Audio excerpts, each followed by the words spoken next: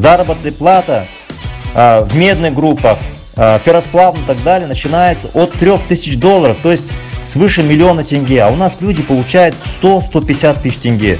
А если, если их заработная плата в несколько раз будет больше, то опять же налогов в бюджет будет больше. То есть бюджет страны увеличится минимум в 2-3 раза. Учителя, я говорил, будут получать зарплату не как сейчас 100-150 тысяч тенге, от 1000 долларов. Врачи то же самое.